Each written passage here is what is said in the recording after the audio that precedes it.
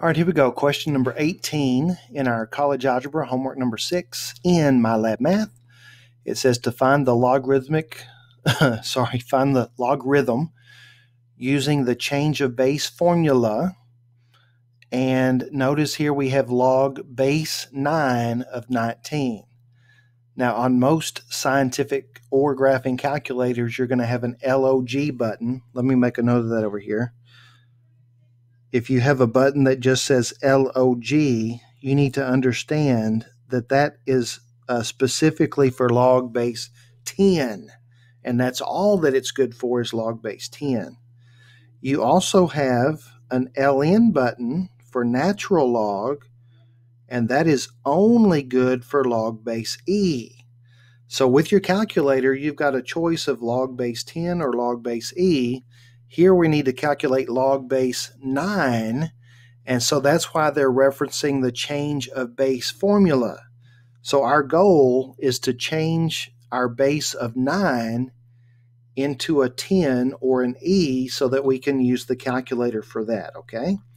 All right, so here's what the change of base formula says.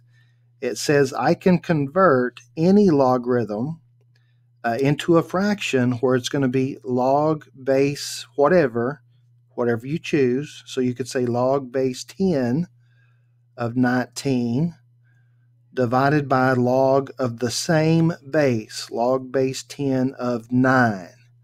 And does everybody see how that worked? The 19 goes in the numerator and the base goes in the bottom and that's the way I remember it. Base in the bottom, like a basement is under your house, the base is underneath the fraction. Now, it doesn't have to be log 10, it could be any base. So we could also say uh, that log base 9 of 19 is ln 19 over ln 9. The only thing you have to remember is that the 19 goes up top and the base goes in the bottom. But whether you use log base 10 or natural log, either one, it doesn't matter. And so now if I bring up my calculator, in the previous video, I was freaking out because there is no just regular log button. But now I feel better because everybody's going to have an LN button, and it doesn't matter whether you use log base 10 or natural log. So we're going to be able to use LN to get this done. And then I'm going to show you if you have my particular calculator, you've got a nice button that avoids having to use the change of base formula. All right, but first, the way that it wants it. We're going to use our fraction button, and we're going to say LN 19. Don't forget to close your parenthesis over LN 9 and they want us to round to what did it say? Four decimal places.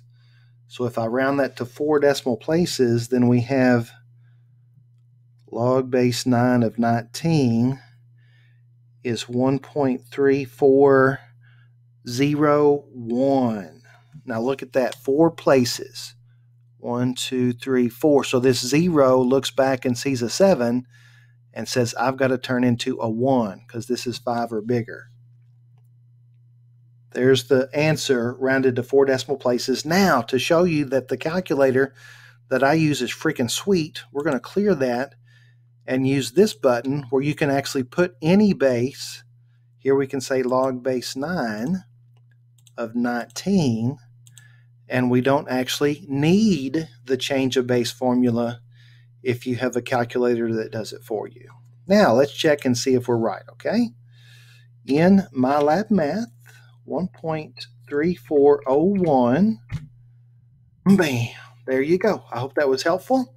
If you have any questions or comments, feel free to put them in the comment section below, or you can text me. And thanks for watching.